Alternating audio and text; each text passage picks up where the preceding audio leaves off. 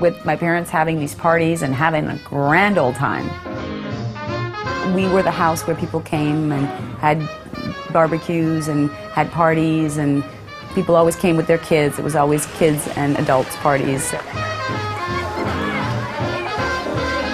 I enjoyed uh, what I did. I enjoyed particularly the people that I worked with, and uh, uh, I was, you know, I was always thinking that that that, that I don't, uh, I don't need another million dollars.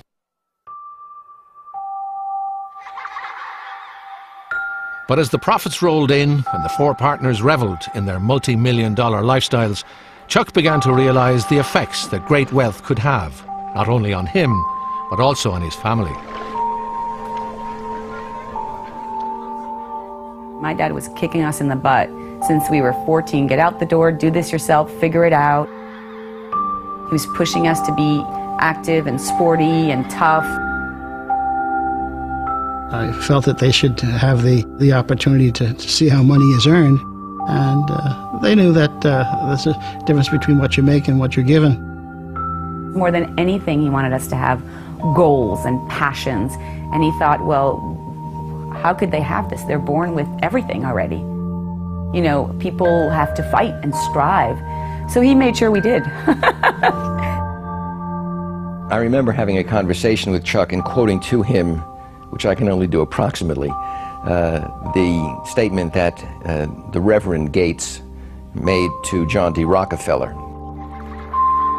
in which he said to Rockefeller, Your wealth is rolling up, rolling up, and if you don't do something about it, it will crush you and crush your family. And Chuck kind of got that.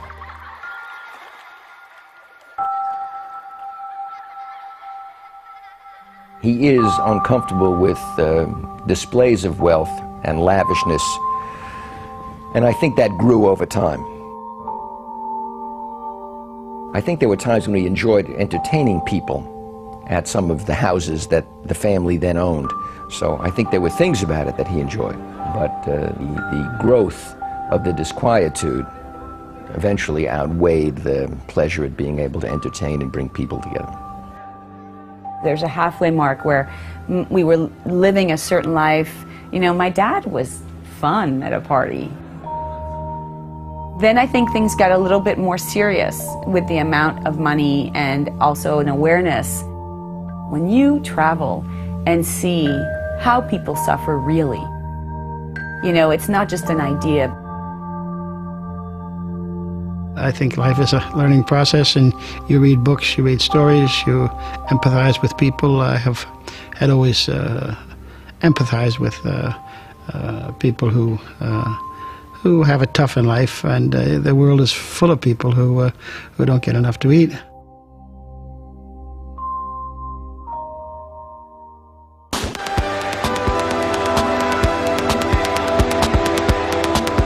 It was by 1980 I started thinking, where, where's all this leading? What am I going to do with it? Uh, uh, like many of the wealthy people today, they uh, they have the money, but they they wouldn't be able to spend it if they uh, if they started to spend it.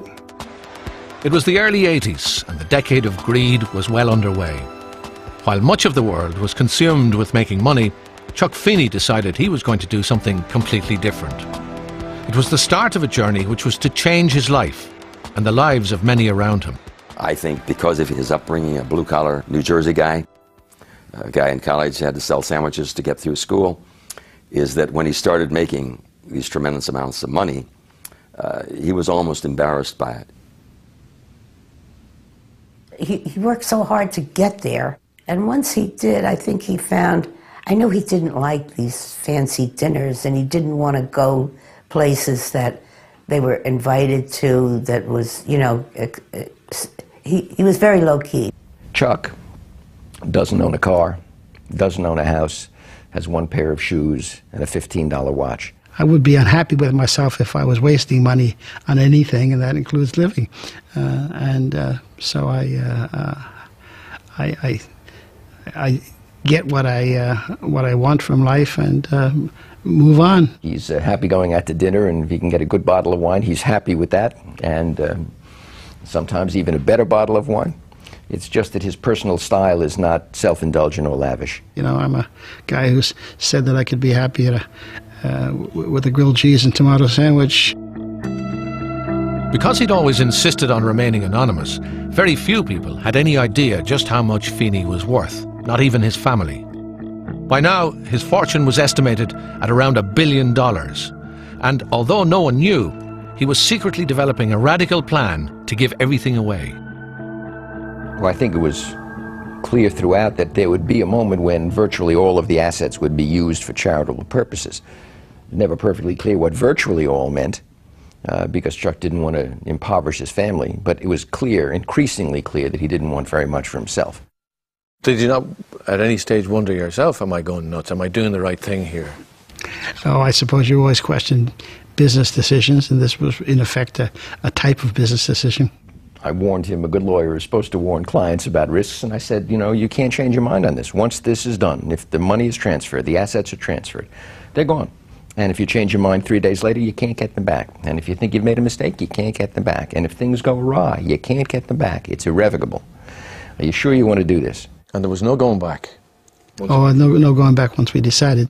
I think he actually was impatient with that because he'd made up his mind, thought it was fine. He said, yeah, yeah, yeah, let's get on with it. Chuck Feeney, the man who had worked his whole life to build a business empire, was about to change everything with the stroke of a pen. In November 1982, Having made a relatively modest provision for his family, he signed over his entire fortune to his new foundation, the Atlantic Philanthropies. I got a phone call one day from him and he said, I have a big announcement. And he said, I just wanted you to know that I've given everything away. And I said, You mean every penny? And he said, I've given it all away to a foundation. And I said, Oh well, that's good if that's what you want to do, you know. I mean, I'm really proud of my dad. I think he's just really an extraordinary man. He's, you know, a very, mean, he's just such, who does this, honestly, who does this? I was surprised, I will admit. But I knew that he didn't do it without having given a lot of thought to it. And the Irish expression that he has, there's no pockets and shrouds. Well, that, I think he just came to that realization and said, okay, I'm going to change what I'm doing. I, guess down to uh, uh, to a realization that uh, that it doesn't add anything to your life. Uh, uh, as I say, it uh, it may make life a bit more more comfortable for you, but I'm, I'm, I'm not uncomfortable today. From now on, all of Chuck Feeney's multi-million dollar profits from the duty-free business would be paid directly into Atlantic Philanthropies. His next destination was a small, poor, underdeveloped country on the edge of Europe.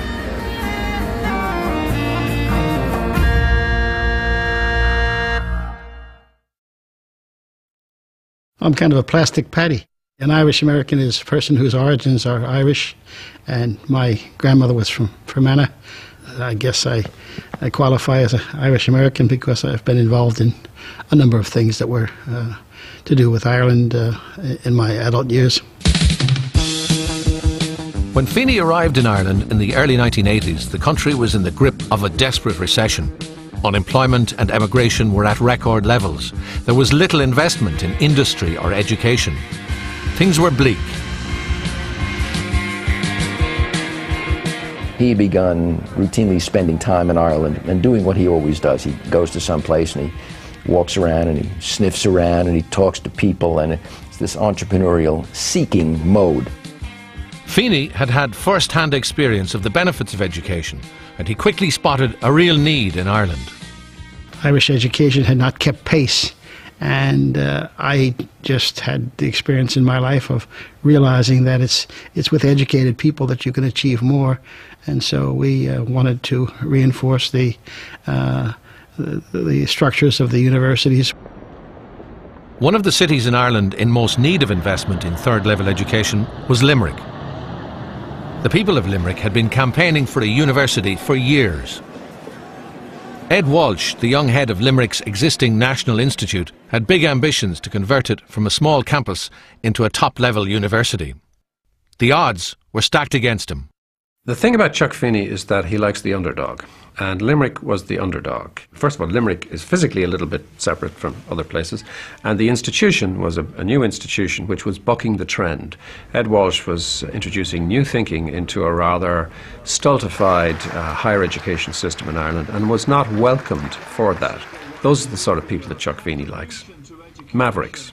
A, a very unassuming man on a first encounter, uh, just because he dressed so badly and uh, was so self effacing a very ordinary kind of guy. He could have stepped off a tractor in County Clare. And when he came into my office in Limerick, most Americans would, would have a quick encounter and someone would take them away and see the building. This man had read and he was profoundly knowledgeable about, about Ireland and its predicament and the trouble and the potential. Uh, so something clicked.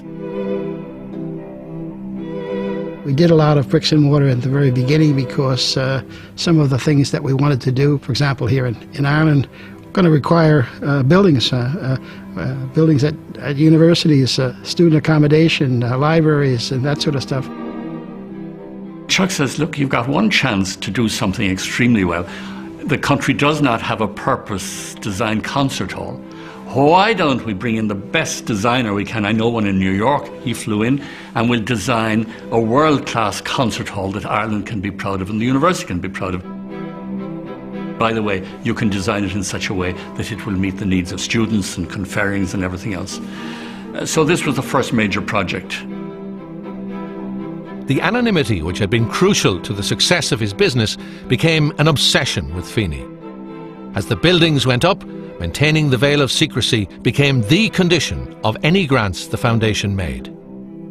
The joke used to be in the trade that we uh, AP was uh, was synonymous with anonymous. He explained to me that if we revealed who was providing the funding, it would cease.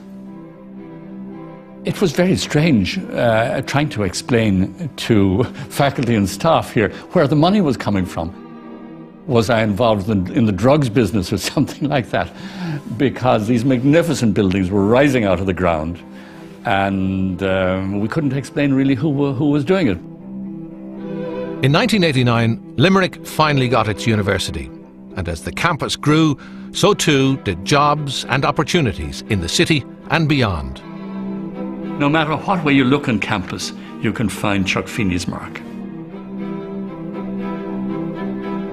The thing he liked about the university program was that there were buildings, there was bricks and mortar. You could kick them, you could touch them, you could feel them. They were there.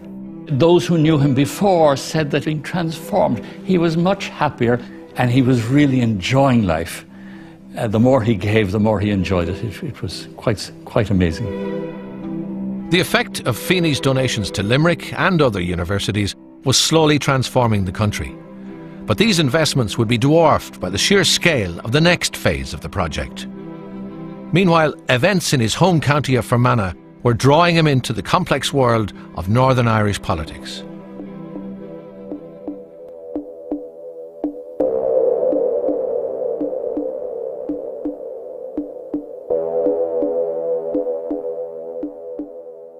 Well, I think the terminal event was uh, certainly the uh, the bombing in Enniskillen.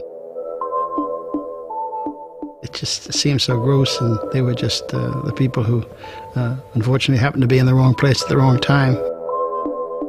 Struck me that uh, you know this is not a good Irish thing. I mean, we're we're not that kind of people that uh, want to make people disappear from the earth uh, because of of their views.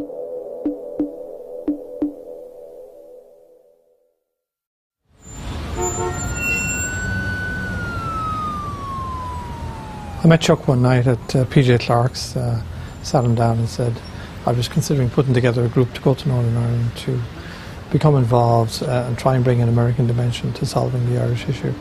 And Chuck instantly said, yes, I want to do it, uh, which was remarkable given who he was and given the fact that, you know, this was really a kind of a fool's errand in many people's eyes. At the time, there was no solution in sight to the violence in Northern Ireland. Sinn Féin was censored under Section 31 and had become political pariahs. But there was a feeling that if the party could be brought into the political mainstream, it could help move the peace process forward.